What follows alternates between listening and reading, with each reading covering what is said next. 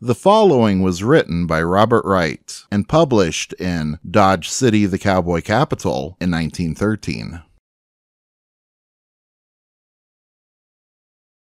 The abandonment of Fort Dodge, the settlement of the military reservation, and the establishment of the soldiers' home were important steps in the seeming course of advancement in this period of Dodge City's history. The abandonment of Fort Dodge as a military post in June 1882 created surprise among the Dodge City people and settlers generally. With the abandonment of the fort, the people would have no protection against Indian raids. But the troops stationed at Fort Dodge were sent one company to Fort Reno, one company to Fort Supply, and the third company to Fort Elliott, Texas Texas, where they could be in proximity to the Indian reservations. Fort Dodge, after its abandonment by the military, was partially demolished, many buildings being removed. However, the rebuilding and repairing took place, and the establishment of the soldiers' home sustained the character of the famous post. The establishment of this home was indicated as early as the first part of 1883, a resolution having been introduced in the Kansas legislature memorializing Congress to cede the Fort Dodge military reservation for that purpose. But it was not until 1887 that the home was established. Late in May 1886, a sudden rush for settlement on the Fort Dodge reservation was made. Early early one Monday morning, and a hundred or more claims staked off between Sunday night at 12 o'clock and Monday morning before sunrise. No one appeared to know how the reservation happened to be thrown upon the market all of a sudden, and no one stopped to inquire, but went right along with settling and improving some portion of the reservation, regardless of what the outcome might be. The people were perfectly wild with the excitement occasioned by this mysterious move. Every available team in the city was employed to haul lumber. Carpenters were in demand, who, after being hired to do a little midnight job in the way of erecting a claim house, refused to work for their employers, but on the other hand, hired teams and went to the reservation with lumber, squatted upon a hundred and sixty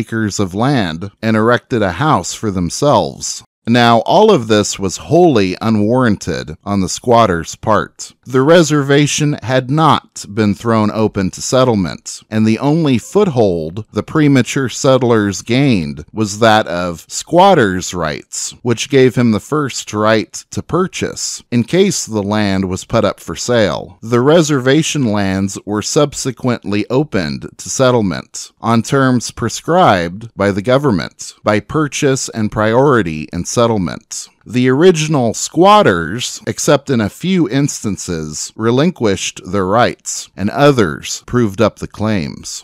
Robert Wright. Today, Fort Dodge is known as the Kansas Soldiers Home, and its mission is to provide quality healthcare facilities for veterans and their dependents based on the values of choice, respect, and self determination. 179 people were living in Fort Dodge, according to the 2020 census. A number of historic buildings still stand at Fort Dodge. These include the Custer House, a building that once served as the post headquarters and where George Custer lived for a short time, Nimitz Hall, which was originally three separate barracks built in 1867 and 1868, and the Pershing Barracks, which were originally the post hospital and was built in 1868.